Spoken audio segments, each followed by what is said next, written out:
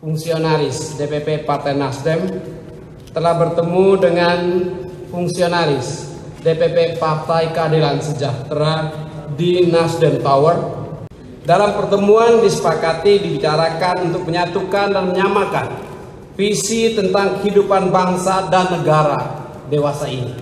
Kedua partai politik sepakat untuk yang pertama membangun kesadaran masyarakat untuk tetap mengungkapkan harga martabat dirinya sebagai warga negara dalam nilai-nilai Pancasila di atas kepentingan kelompok dan golongan.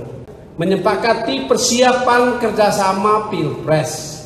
Sekali lagi menyepakati persiapan kerjasama Pilpres 2024 dalam waktu yang ditentukan bersama. Jadi masih lihat melihat ya, jajak menjajak. Jadi semua berjalan aja. Nanti sampai ketemu chemistry yang paling tepat. Pada waktunya kita akan menemukan. Kasih pantun sedikit satu boleh Pak Surya? Boleh. Memang ku tembok dengan palu.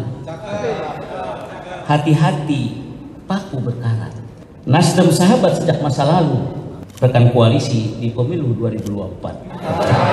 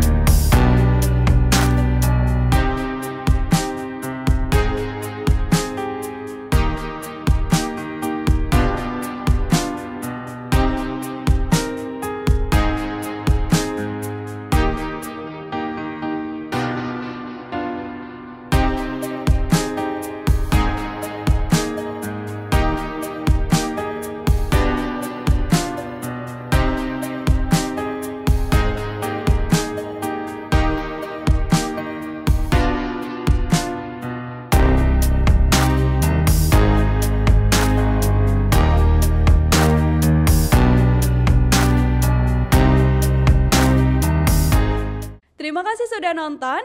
Jangan lupa like, subscribe, dan share ya.